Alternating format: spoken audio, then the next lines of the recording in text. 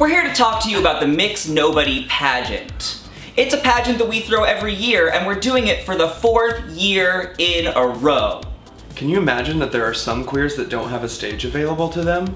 Our goal is to provide anyone with a stage. It doesn't matter what your experience level is. It doesn't matter what genre of performance you do. It doesn't, it doesn't matter what gender you are. All of that is thrown out the window. It is for everybody. It doesn't matter what species you are. The Mx. Nobody pageant is really important to us because when we were starting out, uh, a lot of people wouldn't give us the time of day.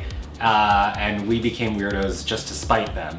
Uh, so now we we feel like we gotta return the favor and expose the world to a whole crop of new nightmare children. So many weirdos. Two of our finalists from the last two years, their first stage was the Mx. Nobody stage. Putting a competition like this on costs money. And there are three things we wanna make sure we do. We want to pay everyone who works for us. We want to donate all of our finale proceeds to charity, and we want to make sure that there is no cover. Anyone who wants to see this show gets to see this show. So, to fulfill all of those requirements and not go broke ourselves, we are asking for generous donations from you to help us raise money to make this dream come true for ourselves and all of Brooklyn.